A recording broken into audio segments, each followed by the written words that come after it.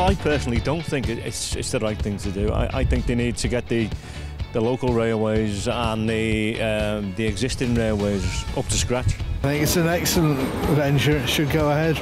Not really. Uh, I've heard there's a lot of environmental impact on the whole project um, from what I've read on the news and what I've seen on the news. It is an awful lot of money, but yeah, they should have done it a long time ago. Well, personally, I don't think it is justified.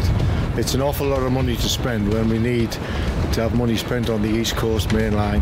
Perfectly good line from Scotland right away down to London. I think they need to get the local trains and things sorted out before they start doing huge, great bigs, ploughing all the money into the, the big structures. I do think that the money which will inevitably be raised from it should be put back towards helping the environment. There again, we're saying about like the NHS is needed so much money, so it's a half should be really one and half to the. It would help in terms of like transport links and just improving that in general, like in terms of getting to where you want to go. And I know like Birmingham and London is like probably the closest in terms of like getting there.